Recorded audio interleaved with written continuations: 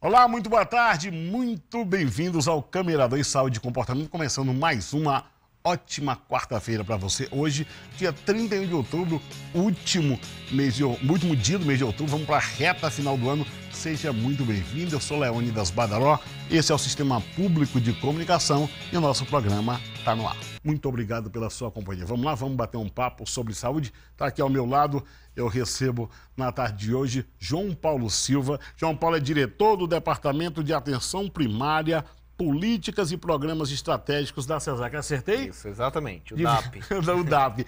Bom, a gente vai falar muitas coisas aqui, mas principalmente de saúde do idoso. Olá, tudo bem? Estamos iniciando o Câmera 2 é, com o quadro Comunidade. É o nosso encontro de todas as quintas-feiras, sempre neste horário. No programa de hoje, conheça melhor sobre a Associação de Moradores do bairro 6 de Agosto.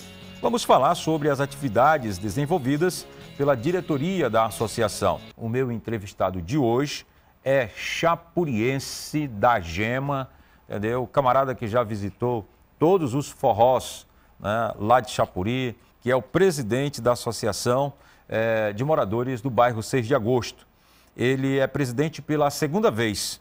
Ele foi eleito no primeiro mandato em 2001, é, biênio 2002 e agora eleito no dia 4 de março de 2018 para o quadriênio 2018 a 2021.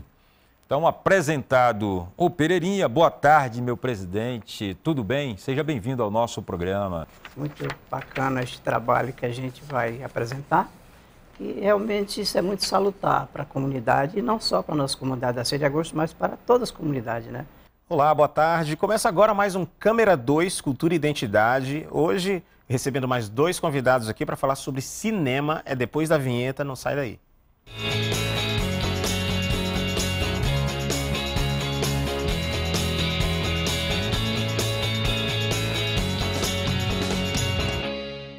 Olá, sejam muito bem-vindos a mais um Câmera 2 Cultura e Identidade, todas as sextas-feiras, como tradicional, sempre trazendo dois convidados para falar sobre os mais diversos assuntos. Obrigado a você que nos acompanha pelo canal 2 na TV aberta, a você assinante da NET que nos assiste através do canal 13 e, é claro, a você internauta que segue Rede Aldeia no Facebook e está acompanhando essa Facebook Live.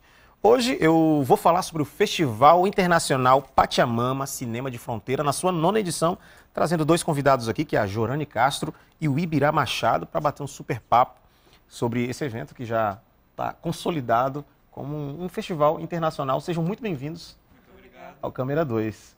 Ibirá, você é distribuidor da Descoloniza Filmes Isso. e está aqui, é, é, trouxe, né, através da, da distribuidora, três títulos, né, para ser apresentado. Exato. Fala para mim um pouco sobre esses três filmes, né, bem brevemente. Tá. E qual é a importância, a tua felicidade de estar aqui no festival como o Pachamama?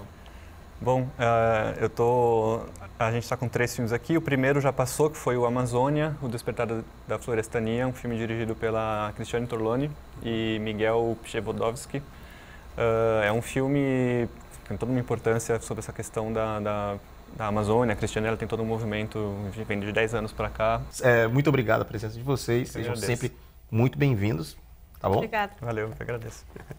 E esse foi mais um Câmera 2, Cultura e Identidade. Até sexta-feira que vem, um super abraço, bom final de semana e até lá.